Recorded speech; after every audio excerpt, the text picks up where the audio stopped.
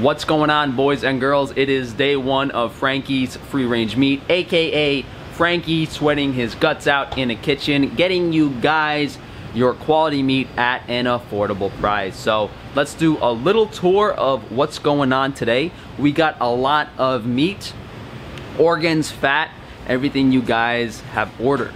This is one of our cold storage units. This is the refrigeration space.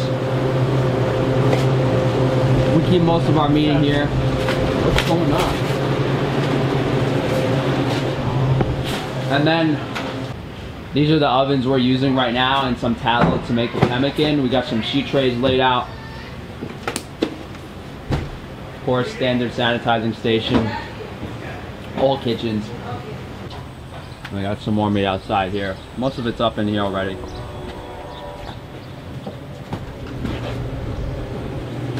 We got some more cold storage over here. This is another freezer where we're keeping stuff cold.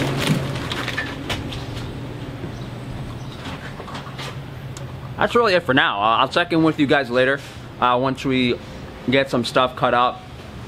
I'll show you guys what's going on. We'll take a look at some meat. We'll take a look at some sample packs. Here is the first look at our ribeye. We have a beautiful untrimmed grass-fed, antibiotic, and hormone-free roll of ribeye here. And as you can see, there is a lot of fat, especially considering this is grass-fed.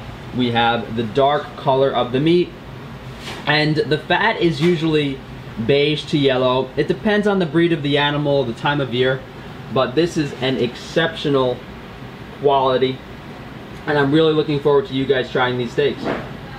Here you guys can see the drastic variance in the size and coloring of the steaks. This has to do with the age of the animal, the breed of the animal, what it was grazing on at the time, but both of the steaks are 100% grass-fed and delicious. Check out the marbling on these beauties.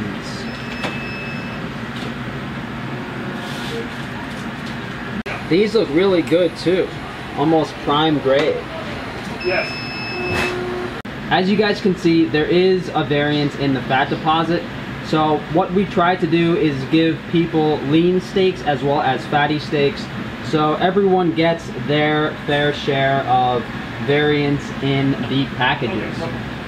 Frankie Boy has been cutting steaks for the past six hours and we might have another six hours to go. I figured I would show you guys the tenderloin. Frankie Boy has cut every single steak for you guys. So I'm on it. Uh, 650 pounds of ribeye have been completed.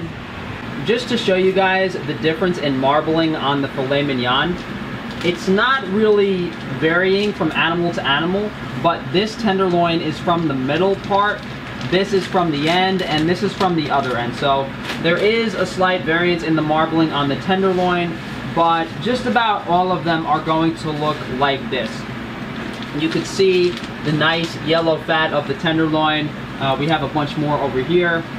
We just finished cutting the filet mignon, and we actually have quite a bit of steak trimming. So for any of you guys who like tartare, this would be perfect. Uh, we'll definitely be offering it in the future at of course a discounted rate because it is trimmings but it is still filet mignon boys and girls. Very easy to cut perfect with tartare we'll see about that in the future.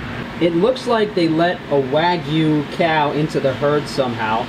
Uh, we might be offering this level of marbling as like prime or wagyu grade but out of every single steak I've cut today and I've cut about a thousand pounds of meat this is by far the only steak that looks like this. So I guess we have a rare treat for one special customer.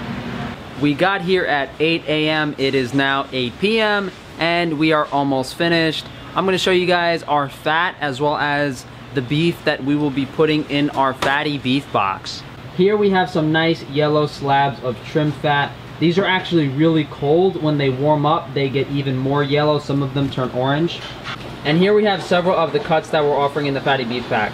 So this is rump cap. It has a nice fat cap, but the inside is kind of lean. Here, of course, we have our chuck roll with a nice fat deposits throughout. This is a piece of brisket, super fatty, super marbled. And then we have the skirt steak. We will also be putting some flap meat in our fatty beef box. Uh, in the initial box, we're gonna give you guys an extra few pounds of meat here and there because uh, we don't exactly have the highest fat content meat that we're looking for right now. Uh, so if that encouraged you guys to buy another fat pack or uh, definitely check out what we'll have in the future. We're trying to get some beef belly. We're gonna have some short rib next time and overall increase the fat content of the cuts because that is the goal of the fatty beef box. There's no light in here, but this is our fridge. Here we have all our steaks.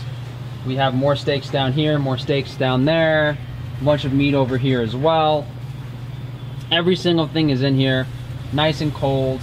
So everything is ready to be sent out tomorrow. We just gotta cut up some liver, uh, portion out some fat, a few more things, and then we are finito for today. 14 hour, 16 hour day, not too bad. It's actually the next morning about 9 a.m. Uh, we finished around 10 p.m. last night and I didn't get to bed until 3 a.m. We got most of the meat cutting done. Uh, we're going to go in today to fill some orders, uh, finish up some of the processing. Definitely a little bit of a learning curve and some growing pains, but I think we should be good to go moving forward for everything. And I realize that there's a reason uh, no one else is offering, you know, these types of products, custom cut, quality stuff. It's because it's an incredible amount of work. No one wants to do this.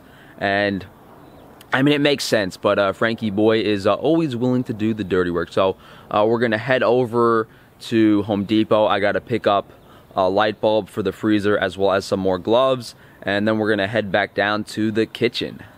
We are back in the dungeon, boys and girls, and the light bulb did not work. So we'll have an electrician look at that, maybe, maybe not. But uh, here we got Adam is filling some of the orders right now. Uh, we still got a bunch of stuff to do, such as cut the Parmigiano Reggiano, uh, prep some liver, prep some fat, so I will jump on that.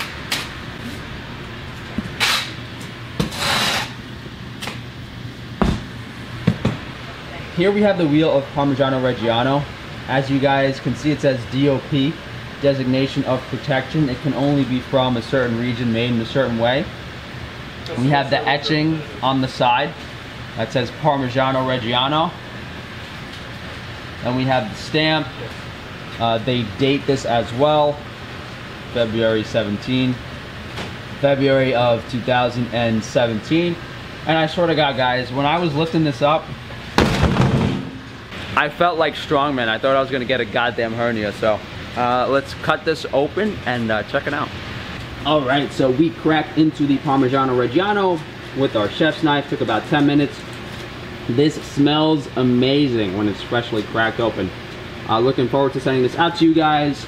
Cheese in particular is really one of the most approachable foods and it's an amazing source of nutrition. Very high in vitamin K2, high in all the fat soluble vitamins. Really depends on the type of pasture the animals were on. In the case of Parmigiano Reggiano, it has to be from grass-fed animals. It has to be made from raw milk. So it is an exceptional quality product. I've cut about a quarter of the Parmesan cheese so far. We're almost done.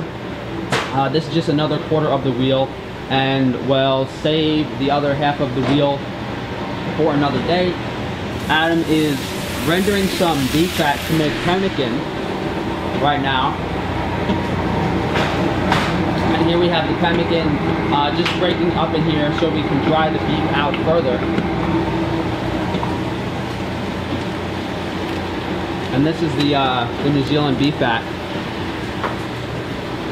filling some orders, multitasking. There's some of the golden rendered tallow. If you place an order, let me know if you guys actually want the rinds. I mean, I'm going to be saving these and maybe we could uh, give them to people who like using it for stocks or soups or whatever, but I figured you guys would rather just have the cheese. And this is how it's going to come. Nice, vacuum packed, half pound portions. Frankie Boy just finished boxing up about 100 pounds of beef fat. We have the beautiful beige yellow coloring. Check it out, boys and girls. Look at all of that. Here we have the milk-fed veal liver. The reason this is darker than regular veal liver is because when the cows get their mother's milk, it has a much higher nutrient content and a high nutrient content is generally reflected in the darkening of the animal's flesh. I got my buddy boy to try a piece of liver. What's going on? That's the raw veal liver, right? Mm-hmm. It's creamy.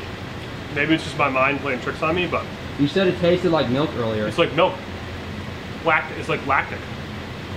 Really mild, like mild, sweet, minerally. Sweet for sure.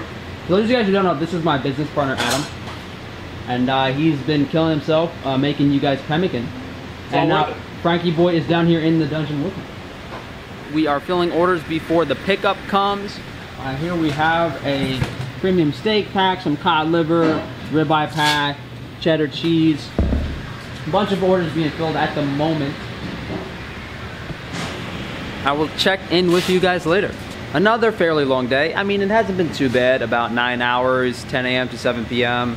Uh, came in, we broke open that wheel Parmigiano, cut some meat up, and the last few hours was really scrambling to get about 70 orders out. Uh, you know, running in and out of the fridge and freezer, grabbing our products, uh, getting them packaged into boxes before the UPS, FedEx, and USPS pickups came. So we got about 70 orders out.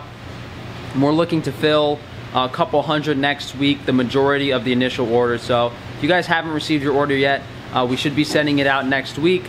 Uh, as I spoke about earlier in this video, a lot of growing pains, a lot of things we learned uh, that we're going to need for next week to get these orders out as efficiently and quickly as possible.